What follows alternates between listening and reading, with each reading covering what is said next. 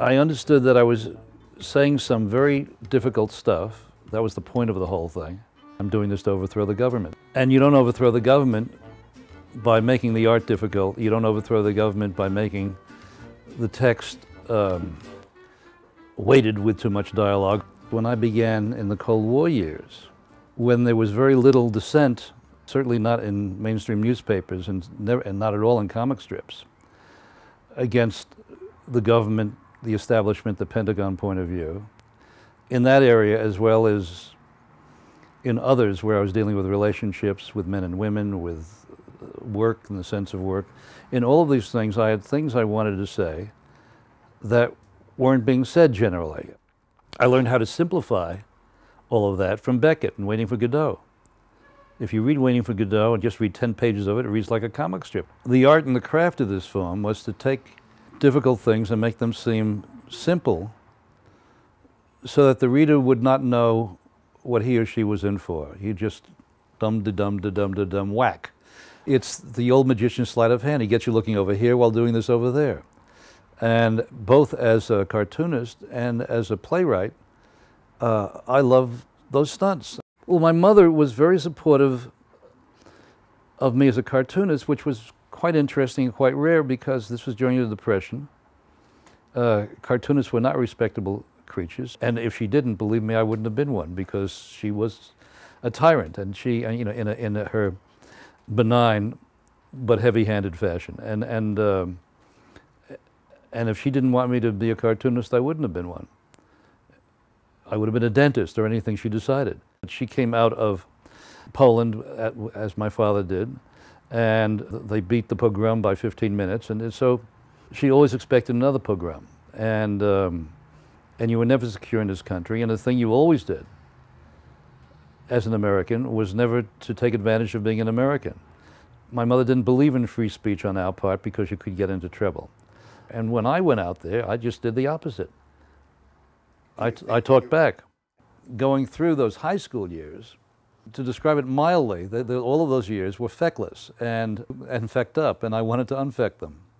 And the only way of doing that, as countless numbers of writers and artists have found out over the years, is to go at this social stupidity that happens to be you yourself, uh, this rather embarrassing person, this poor excuse for a person, and create on paper something that was a lot better, or comment on something, or do something that would take you away from that and turn you into something else.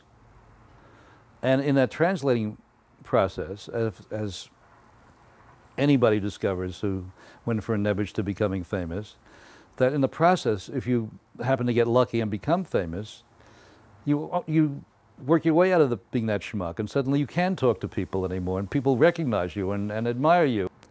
When Jerry Siegel died, the Times asked me to do a eulogy on him.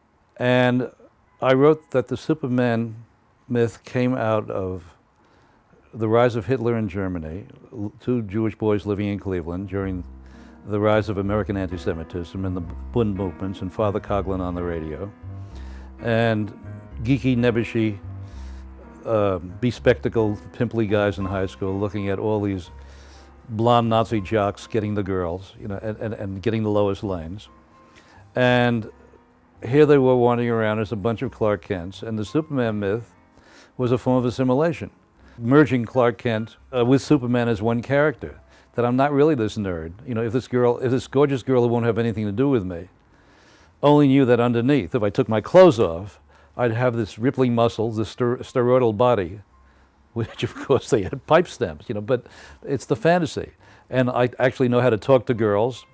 Uh, I'd be witty, which I'm not. I'd be this, which I'm not. I'd have, so it's, it's that pure fantasy instead of feeling like an alien from outer space. So the outer space that the real superhero came from was, as I wrote, not the planet Krypton, but the planet Minsk. The heft of my work, it came more out of written forms and old-time radio and maybe early television comedy. I mean, it came more out of the Jack Benny show, Fibber McGee and Molly, these works of the imagination where you couldn't see anything, but was still hysterically funny. Just about all of my work gets written first. They are like improvised comedy. that you, you start with an opening line, see where it goes, hope it goes somewhere. On rare occasions, when I come up blank and have a deadline, I might doodle something on paper, hoping some character would speak to me, some pose, you know, so I'd do somebody in a, a situation of stress, hoping that he or she would start speaking to me, and occasionally it did. It's surprising that I started writing plays at such a late age. I was in my middle 30s because I realize that um, I've always staged things and think of things as a page when I'm doing a cartoon as a form of theater or film, and that these are actors, these characters I'm putting on paper. Just about all of my work of over 40 years of cartoons is people hardly moving at all. And, and, and when they did move, the, the movement is really a way of telling the reader what is really going on inside their heads. The drawing will often be the subtext behind the text. The text is saying something, but the text is often the unreliable witness. And the only truth you're going to pull out of it is what the character is doing with his or her body. I think it's a danger in any art, and a danger we seem to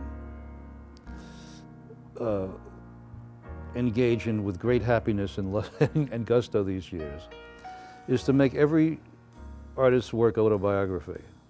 Uh, and more than that, an extension of his problems, his or her neurosis. What does Walt Kelly being Irish have to do with Pogo? And, and why should we care? What seems to be too much of a pattern these days uh, in terms of scholarship is the determination of the scholars and the critics to capture the essence of creativity and by their, by, by their treating it, treat, treat, treating creation like a crime that they have to solve. Uh, they become the creators and they achieve a status on par with whoever they're writing about. So the, the, the scholar who deconstructs F. Scott Fitzgerald and explains to you what Fitzgerald really meant then becomes his peer. No, he becomes his superior. And, and, and Fitzgerald didn't have a clue as to what he really was about. But this scholar, that scholar, the other scholar, being smarter, better, better educated, and more and a better student of Fitzgerald than Fitzgerald ever was, is clearly more important in the canon than Fitzgerald.